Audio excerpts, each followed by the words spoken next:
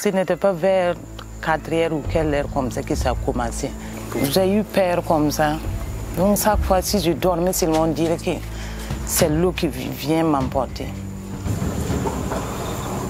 Dans la capitale burkinabé, l'eau a coulé, le décor est apocalyptique. Pour une pluie qui n'a duré que deux heures, le constat est désolant.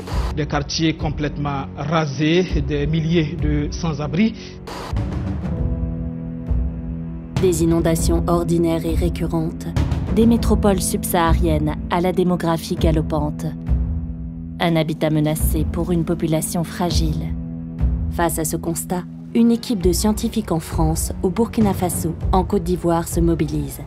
Ils agrègent autour d'eux météorologues, urbanistes, services de secours, pouvoirs publics et opérateurs de téléphonie mobile. Avec euh, le projet RENCEL, nous savons que nous sommes aujourd'hui au stade de la recherche. C'est important d'avoir, de, de disposer de systèmes permettant à la météo aujourd'hui de couvrir la capitale, qui est euh, une zone inondable. Pour permettre aux autorités d'anticiper, ils vont ensemble valider une nouvelle façon de mesurer la pluviométrie en Afrique. Le principe est simple et particulièrement pertinent ici.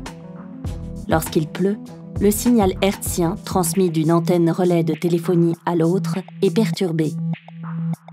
Ce sont les gouttes d'eau qui affaiblissent le signal radio en traversant le champ de micro-ondes. C'est à partir de la mesure de cet affaiblissement que l'équipe de chercheurs a validé un dispositif permettant d'estimer la quantité d'eau tombée entre les deux antennes. La mesure n'est plus seulement ponctuelle, comme avec un pluviomètre classique. La toile d'araignée ainsi déployée permettrait d'obtenir à un faible coût des données qui pourront permettre de surveiller la pluie en temps réel, à l'échelle d'une ville, d'un bassin versant, voire même d'un pays. Le concept, une fois rendu opérationnel, offrira un potentiel énorme pour l'Afrique, mais aussi dans bien d'autres régions du monde.